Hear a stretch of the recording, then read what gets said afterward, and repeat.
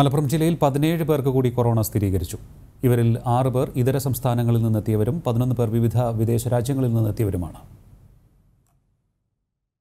June പന്ത്രണ്ടിന് മുംബൈയിൽ നിന്നും പ്രത്യേക വിമാനത്തിൽ കരിപ്പൂർ വഴി തിരിച്ചെത്തിയ മഹാരാഷ്ട്ര പച്ചോറ സ്വദേശിയായ മുപ്പതുകാരൻ മുംബൈയിൽ നിന്നും ജൂൺ പന്ത്രണ്ടിന് സ്വകാര്യ വാഹനത്തിൽ തിരിച്ചെത്തിയ താനൂർ മുക്കോല സ്വദേശികളായ മുപ്പത് വയസ്സുകാരി ഇവരുടെ പത്ത് മാസം പ്രായമായ മകൾ ആന്ധ്രാപ്രദേശിൽ നിന്നും ജൂൺ നാലിന് തിരിച്ചെത്തിയ ലോറി ഡ്രൈവർ താനൂർ ചീരാൻ കടപ്പുറം സ്വദേശി ജൂൺ പതിനഞ്ചിന് ഉത്തർപ്രദേശിൽ നിന്നും തിരിച്ചെത്തിയ കുറ്റിപ്പുറം നടുവട്ടം സ്വദേശി ജൂൺ പന്ത്രണ്ടിന് ഡൽഹിയിൽ നിന്നും കൊച്ചി വഴി തിരിച്ചെത്തിയ ചോക്കാട് പുല്ലങ്കോട് സ്വദേശി എന്നിവരാണ് ഇതര സംസ്ഥാനങ്ങളിൽ നിന്നും എത്തിയവർ.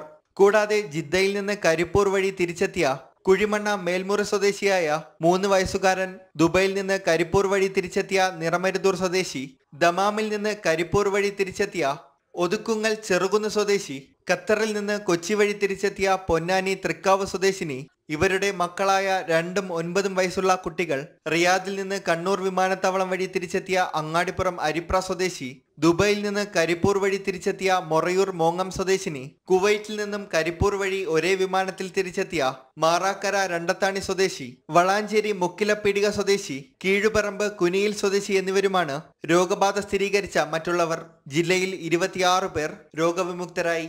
ജനം മലപ്പുറം.